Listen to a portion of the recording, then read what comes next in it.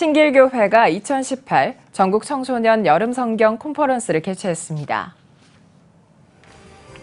올해 두 번째로 진행된 이번 콘퍼런스는 청소년의 꿈은 성령님으로부터 라는 주제로 다음 세대 예배 회복을 위해 2박 3일간의 일정으로 개최됐습니다. 이번 집회는 한국교회의 미래인 다음 세대를 섬기기 위해 초교파 1,500명의 청소년과 스텝이 참여했습니다. 예배가 무너진 청소년들이 교회 안에 너무나 많기 때문에 예배의 영광을 경험하고 그 속에서 하나님을 만나게 함으로 하나님의 꿈과 비전을 심어주는 그것을 목표로 하고 아울러 학교에서 예배자로 살아가기, 청소년 심리 등의 선택 강의와 청소년들의 재능을 선보이는 갓탤런트도 진행됐습니다.